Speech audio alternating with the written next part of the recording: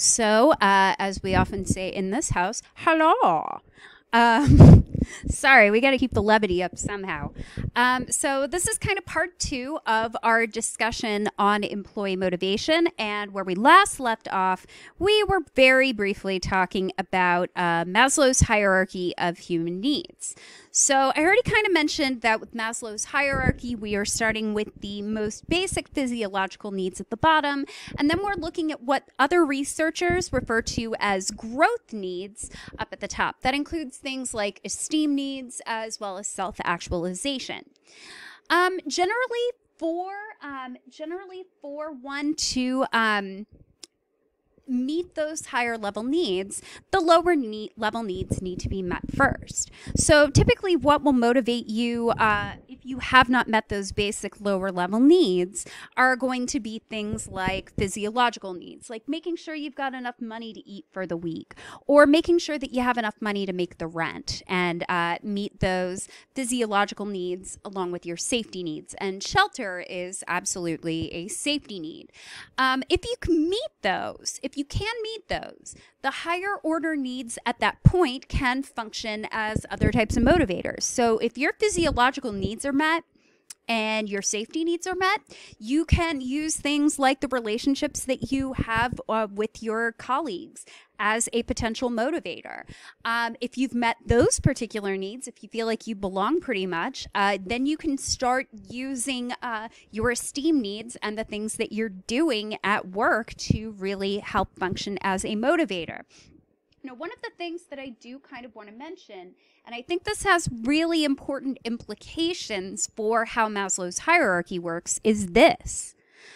No one thing is going to motivate your employees all at once. Not all motivators will be equally effective. For example, um, there are some of you that um, if I bring food to class as a motivator, or if I tell you, hey, I'll bring snacks to get you to complete your course evaluations or things like that, um, some of you are going to be like, oh, yeah, yeah, that's really motivating. I love food, and I especially love food when it's free. I think I'm still in grad school mode because I am also very highly motivated by food. Um, but there are some of you that don't necessarily need food as a motivator. Um, so, no one thing is going to motivate everybody all at once. So, you have to think very carefully about what you are offering your employees as a potential means of motivation. It's not going to work well on everybody, and it's not going to be equally effective. So, if you're aware of that, you can design uh, different motivators that will motivate all of your employees. Just be aware that one blanket motivator is not going to be effective. Sorry about that. Um, Maslow's hierarchy, though, um, one of the things that you know I'm a stickler on, I want theories and ideas that have a very strong scientific basis. And generally, Maslow's hierarchy, one of the biggest critiques of it is that it's not very scientific. Most of his theory is based off of either his clinical work or looking through archives. So, for example, um, pretty well known, it's pretty well known that his understanding and his, the way he developed his theory of self actualization was by looking through archives of famous people that he believed have achieved, had achieved a great deal, such as Abraham Lincoln. Now, I'm a little curious as to whether Abraham Lincoln himself would have said that he was, in fact, a self actualized person. Unfortunately, we don't really have a lot of opportunity to really ask him. But because it's based on this kind of third person perspective rather than a first person perspective and also rigorous scientific testing, take it with a huge grain of salt, like about yay big. Um, so, in general, though, one of the things that you're going to discover is that it's really difficult to test need based theories. When we talk about what a need is, like motivation, it is a hypothetical construct. So, for example, um, let's say I deprived you of water for 24 hours, um, and then I give you an opportunity to actually have some water. Odds are pretty good you're going to drink it. Now, why did that happen? You could say, well, Dr. Gilchrist, you have a need for fluids. They were thirsty. Well, that's great, but that's not something that I can actually manipulate or something I can sense or something that I can measure. Really, all I can do is see how much you drink. And frankly, I would make it would make just as much sense to say, well, they drank water because they were deprived of it. We expect people to do that, we don't necessarily have to make use of a theoretical construct. So that's something that we're going to run into again and again and again when we talk about things like needs, when we talk about things like drives. They're not things that can be directly sensed, they're not things that we can technically manipulate, and they are not things that we can measure. There are we can potentially infer them through behavior or through performance or through tests, but that's the best we got. It's a construct. The next theory that we're going to talk about that is not in your book, but I thought was pretty interesting, is um, what is referred to as Alderfer's ERG theory. And this was something that was originally uh, developed to be a little bit more empirical than Maslow's hierarchy of human needs. And as you're going to see, it's pretty similar in scope and in structure to Maslow's hierarchy with a few important differences. So, the focus of Alderfer's ERG theory is that he is largely focusing on what we call need satisfaction. So, are you meeting those needs and desire? So, satisfaction, according to Alderfer, is basically an internal state that comes from attaining your goal. You have a goal you want to meet, you meet it, you feel pretty good, and it creates that internal state of satisfaction. Now, compare that to something like desire. Um, in this case, uh, Alderfer defines desire as something like wanting. How much do you want this? Or the intensity of need strength. So we know that you need this. How badly do you need it in this case? So if your stomach's grumbling, for example, you probably have a pretty high desire for food compared to somebody who is not. Now, we call this the ERG theory because Alderfer basically said that we have three different categories of needs. And these are going to sound really, really similar to Maslow's ideas. So we have existence needs, which are basically um, Maslow's um, physiological needs and safety needs, these are the needs that we need to be able to exist, things like food, water, and shelter. Um, we have our relatedness and needs, which you can think of like our belongingness and love needs from Maslow's hierarchy. And then we have what are our growth needs. Those will include things like our uh, what Maslow would call esteem needs or self actualization. So, do we feel that we are growing as a per- a person? Are we actually meeting our unique purpose? Are we finding meaning in our lives? These kind of things. So, here are some important points because these look really similar to each other, but Alderfer's theory has a few important differences compared to Maslow's theory. So, according to ERG theory, all three categories of needs can actually operate simultaneously. Whereas with Maslow, you are operating on one need at a time and you can't really focus on any others until that need gets met. Um, ERG theory, though, says that you can have some existence needs that you're working on. You can have some relatedness needs that you're working on. You can have some growth needs that you're working on.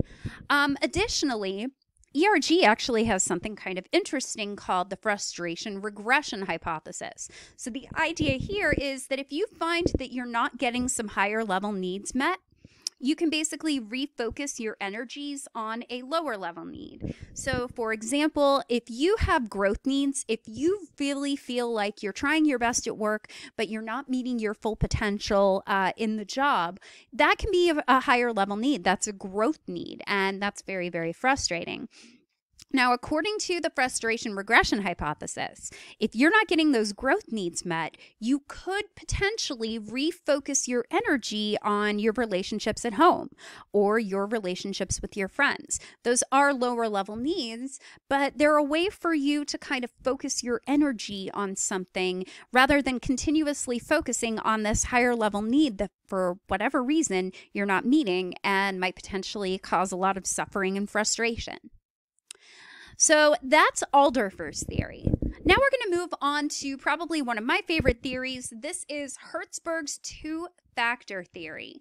Um, this is largely um, a measure of job satisfaction rather than job motivation, but I would say that satisfaction can lead to motivation. And so, and, and motivation is also mentioned within the context of this theory. So, Herzberg basically said that um, there's a continuum that exists. So, it was previously assumed that job satisfaction and job dissatisfaction, so liking your job and hating your job, were basically on these two separate constructs. So, not liking your job was very, very different from liking your job. Herzberg is one of the first people to really bring up the possibility that perhaps satisfaction and dissatisfaction with one's job actually lies on a continuum. Um, so, on one end, you've got job satisfaction, you like your job, it makes you happy, you find it meaningful. And on the other end of the continuum, we have job dissatisfaction. You don't like your job, it's not making you very happy. Um, so here's how, and, and, and what's cool about Herzberg's theory, he basically says that there are two different factors that can either create job satisfaction or dissatisfaction. And they're two very distinct factors. So, first of all, we have what are called motivators. Motivators are things like recognition, praise, meaningful work. So, the things that would kind of motivate you. So, praise, pretty motivating, very positively reinforcing. Um, interesting work that is varied and meaningful to you might potentially be a motivator. Now, compare that to something like what he referred to as hygienes. Um, hygienes are what are are basically what we would expect bare minimum that a good job should give you. So basically standards for being a, a, decent standard job. So we have what are called hygienes. So hygienes include things like the quality of supervision that you're getting, given by administrators or your bosses, your salary, and your working conditions. Now, each of these is going to have a very specific effect on either job satisfaction or job dissatisfaction.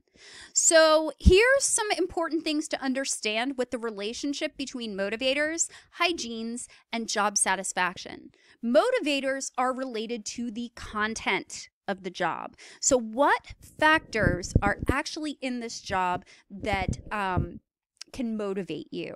So, do you have these? So if you have a sense of meaningfulness in your job, if you like what you're doing, um, if your job is varied and it meets your needs and it me- matches your values. So if you have motivators, things like you're getting recognition for your work, you find the work meaningful, you find the work interesting, um, those motivators will actually create job satisfaction and it will create motivation.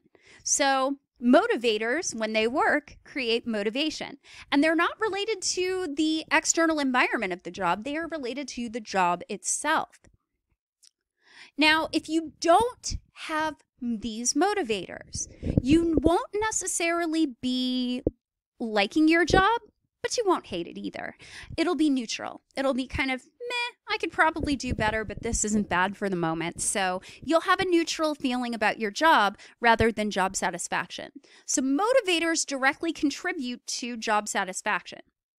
Hygienes, on the other hand, are related to the external aspects of the job. Things like your salary, things like your supervisors, things like your environment. Now, if you have these hygienes, so, hygienes are, when we think of hygiene, we think of these basic things that we do, not necessarily because they make us feel any better, but because they help us function. Generally, um, things like brushing your hair, brushing your teeth, washing your dang hands, by the way, I hope you're doing that. Um, all of these things are helpful but they don't necessarily make you feel good. They don't necessarily satisfy you. Um, and they don't necessarily motivate you. They're things that you have to do, but they don't necessarily make you happy when you do them. So, with hygienes in a job context, if you have a decent salary, if you've got good supervision, um, and things like that, if the work environment is good, if you have these, you're not necessarily going to be satisfied. they don't necessarily contribute to satisfaction or motivation when you have them. Now, I know what some of you are thinking. Dr. Gilchrist, if I got paid a lot more, I'd like my job a lot more. Yeah, for a little while, but eventually you'd adjust. Um, more pay is better. More pay makes people happy over the short term, but it doesn't necessarily make them happy with their job over the long term because job pay is a hygiene. Here's what's really critical motivators contribute to satisfaction, hygienes, if you don't have them, contribute to job dissatisfaction. So if you aren't getting paid what you're worth, if your boss is awful, if your coworkers sabotage each other at every opportunity and don't trust each other and don't like each other, you're going to be very dissatisfied with your job. So, motivators create satisfaction, hygienes, when you don't have them, create dissatisfaction. So, basically, satisfaction comes from motivators, dissatisfaction comes from lack of hygienes. So, let's talk about the implications of this particular theory.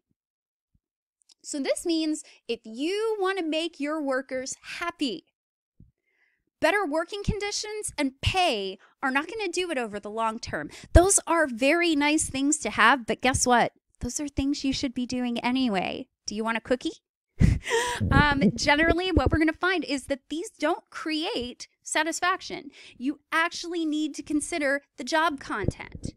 Now, here's what's kind of interesting. Um, the results for Herzberg's two factor theory are actually pretty mixed, but there's some interesting support from positive psychology research. This is a subfield of psychology that is all about contributing to human flourishing, things like happiness and well being.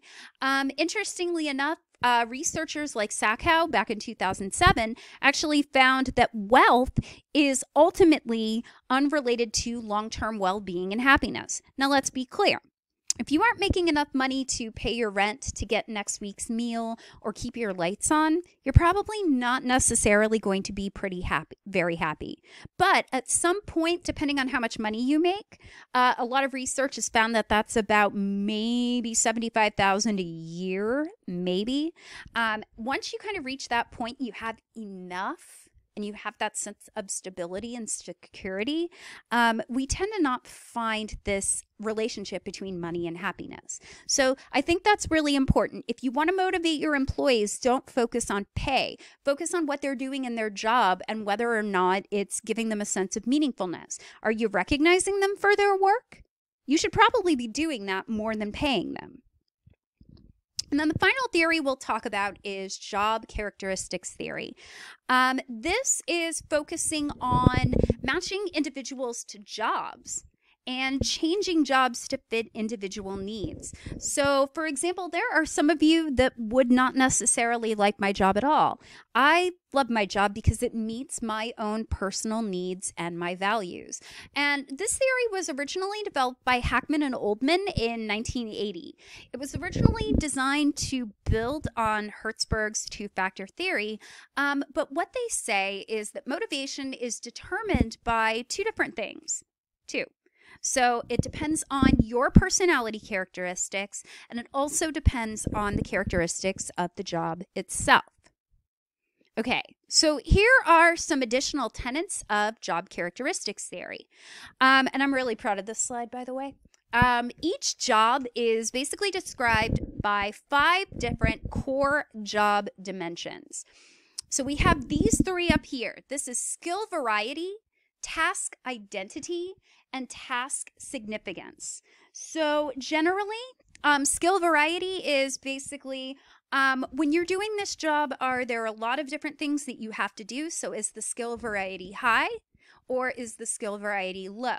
So, high skill variety would be something like being a professor. Um, I do research studies. I teach. I write lectures. I write papers. I review papers. Um, I do research studies. So I have a lot of skill variety, and it's not necessarily guaranteed that I'm doing the same thing every single day. Now compare that to something like uh, what Willy Wonka's, or not Willy Wonka's father, Charlie Bucket's father did in uh, Charlie and the Chocolate Factory, where he was always putting a cap on the toothpaste. Not a lot of skill variety in that particular instance. Task identity is basically are you producing a meaningful unit of work? Um, and task significance is how important is this job that you're doing?